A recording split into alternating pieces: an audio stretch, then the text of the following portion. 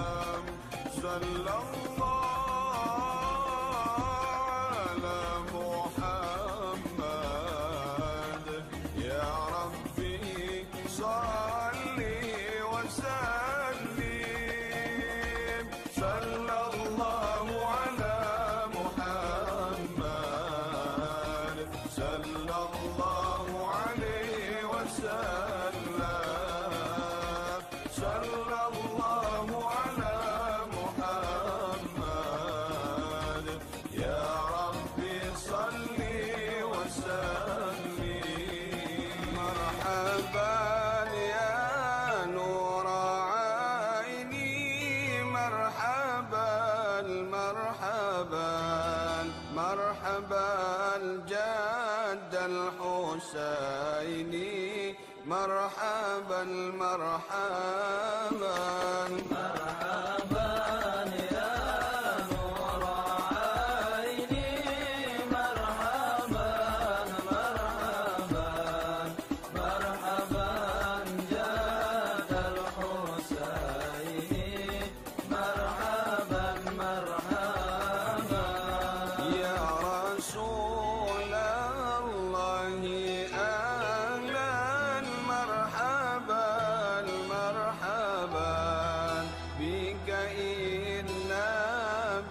كانوا سعاد مرحبا مرحبا.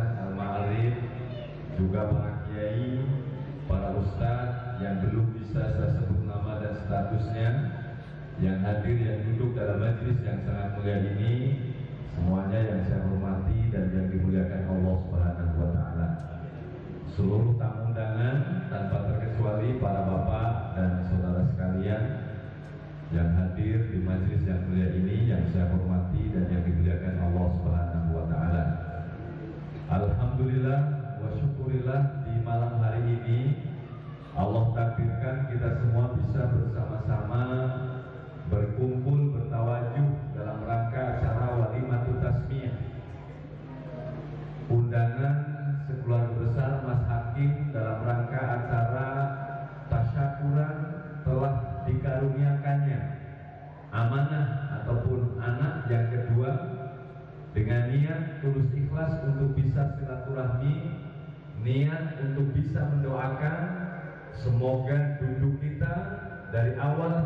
akhir acara nanti dengan niatan-niatan yang baik ini Allah catat sebagai tambahan amal yang soleh dan semoga bisa menjadi jembatan untuk meraih ridho Allah Subhanahu wa taala. Salawat dan salam akan selalu tercurahkan kepada junjungan kita Nabi Agung Muhammad sallallahu alaihi wasallam. Semoga keikhlasan kita ini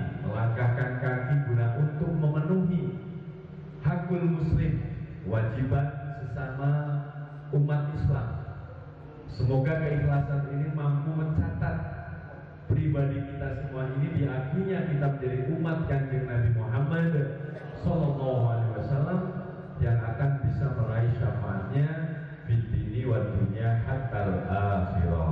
Amin. Ya robbal alamin. Para bapak dan saudara sekalian yang saya hormati pada malam hari ini yakni acara tasakuran walimah tasmiyah. Walimah itu artinya adalah makanan tasmiyah yang disengaja makanan itu diadakan untuk sebuah tasmiyah ismun ataupun nama. Makanya namanya walimah itu sangat banyak. Karena walimah itu adalah mewujudkan yang namanya sebuah makanan untuk syukuran yang makanan itu diadakan dengan tujuan tertentu. Kalau tujuannya Mas Hakim mengadakan snack banyak ini kok untuk memberi nama anaknya memberi nama anaknya bahasa Arabnya tasmiyah makanya namanya walimatul tasmiyah kalau diadakannya potongan kambing ataupun potongan ayam untuk pernikahan maka acaranya namanya ketika itu makan-makannya walimatul arus. Karena pengantin bahasa Arabnya arusain kalau diadakan untuk penghitan walimatul khitan. Kalau diadakan potong kambing atau potong sapi untuk sebuah perjalanan ada yang mau umroh mau haji namanya walimatus safar lil haj lil umroh. Nah malam hari ini walimatu tasmiyah tasyakuran untuk sebuah nama.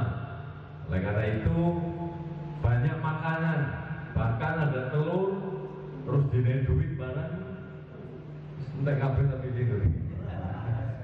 Jadi makanan-makanan ini semua diadakan namanya walimah. Nah maka siapa pun yang diundang di acara walimah mesti hormat walaupun panganannya sing eneng gono ataupun panganannya kok digabali. Ataupun macam-macam. Nah ini paling tidak kita sudah dapat ilmu yang namanya walimah itu ternyata artinya orang ilangil walimah ternyata adalah sebuah makanan yang sengaja diadakan untuk tujuan tertentu. Nah ini tadi bayi yang kita saksikan sambil kita apa itu namanya baca sholawat ini memang ada, ada sejarahnya. Komuter visit ini eneng eneng eneng sejarah. Orang langsung dicukur orang langsung diletakkan dikasih nama artinya ketika kita membaca sholawat kita meyakini Rasulullah Wasallam itu hadir. Hadir dalam hal hakikiyah. Nah ini. Makanya ketika hadir kita berdiri itu ungkapan hormat. Orang Islam menghormati seorang tokoh lebih-lebih itu seorang nabi berdiri hormat bayi ini ditoke dikelilingke. Seakan-akan pamer. Iki lho ya Rasul gawean ini iki wis dadi meneh. Berarti ngono kuwi lah cara cara ngomong. Makanya suruh keliling. Nah ini. Kita yakin itu. Karena kita yakin sekali yang namanya sholawat tadi dibaca juga. Al jannatu wa naimuha surga dan kenikmatannya itu adalah sakdun sebuah kebahagiaan khusus. Hadiah khusus. Hak milik khusus. Untuk siapa sih? Sakdun itu untuk siapa? Liman untuk seseorang. Yusolli yang mau baca sholawat. Al jannatu wa naimuha sakdun liman yusolli wa yusallim wa yubarik alaih. Hadiah untuk yang mau baca sholawat yang mau mendoakan selamat dan berkah alaihi atas kanjeng Nabi Muhammad Sallallahu Alaihi Wasallam. Secara otomatis menambah keberkahan bagi sang bayi yang baru dilahirkan